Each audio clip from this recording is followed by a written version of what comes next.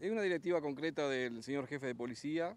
Eh, ya he visto que vecinos, propietarios de finca y algún turista también se ha acercado a, nuestros balnearios y, este, y en respuesta a ello es que se dispuso este tipo de operativo se ha dado un movimiento importante de, gente de Montevideo, de Canelones y demás, es decir, eh, como consecuencia de la llegada de muchos turistas, vamos a decir. Exactamente.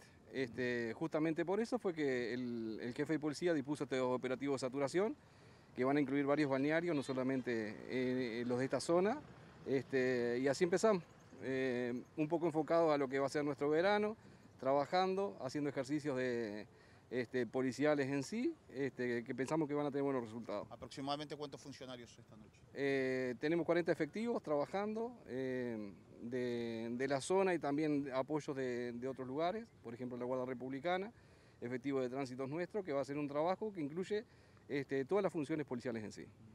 Eh, además, vemos que, bueno, se movilizan con motos también, es decir, y diferentes puntos que van a atacar ahí. Sí, efectivamente, incluso hay vehículos de particulares que ya están eh, de particular que de la parte de investigaciones que ya están trabajando adentro del balneario, este, justamente para tratar de revertir algún delito contra la propiedad, principalmente que se nos pueda dar. ¿Se han registrado algunos hurtos en los últimos tiempos que han preocupado?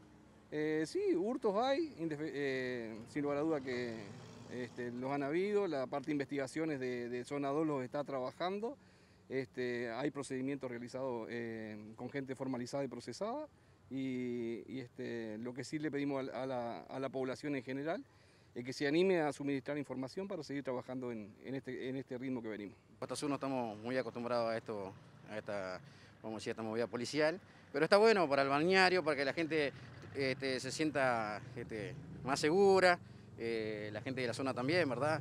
Ya que últimamente estamos contando con muy, buena muy buena residencia acá en, en, ¿Se ha notado la llegada de gente de afuera? Sí, que está viniendo por supuesto, mucha gente, mucha gente de Montevideo, mucha gente de San José, Canelones, alrededores, este, se ha venido ¿viste? A, vivir acá, más allá de todo el tema de la pandemia, ¿verdad? Este, está bueno. Está bueno. Para ustedes los comerciantes les da cierta seguridad. Y sí, ni, que hablar, ni que hablar. ¿viste? La seguridad es todo, hoy en día, ¿viste? sabemos la situación del país como es, y, este, y la verdad que está muy bueno, está muy bueno habían tenido preocupación por algunos robos que se daban por aquí en Costa Azul y demás, ¿no? Sí, sí, nosotros tuvimos, este, a fin de año tuvimos este, el desagrado, vamos a decir, de este, que nos visitaron, pero lamentablemente fue fallido el intento de robo, y, este, y bueno, pero tuvimos sí una visita en la vecina de enfrente que lamentablemente le hurtaron. ¿Y algunos otros vecinos acá de la zona? Es decir, ¿siempre hay algún comentario sobre algún robo? Sí, sí, sí, sí, la verdad que sí.